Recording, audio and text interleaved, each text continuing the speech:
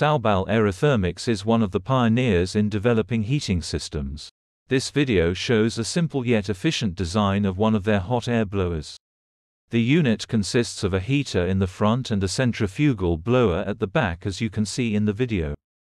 Let us try measuring the temperature with the help of a thermocouple. You can see the instantaneous rise in temperature from ambient to 100 degrees centigrade in just a few seconds. This shows that there is no heat trapped in the heater or any losses due to conduction, and heat transfer is 100% through convection only. A lot of energy can be saved with this system. The system shown in the video has a 6 kilowatt heater with a half horsepowered motor, generating around 100 degrees centigrade with an airflow of 340 cubic feet per minute.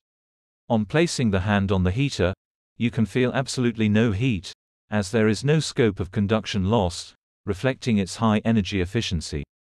These hot air blowers also come with a control panel, which has a digital temperature display with a temperature controller, push buttons for the heater and motor separately, and all the required logic for the safe functioning of the hot air blower. Specifications of hot air blowers change based on customer requirements.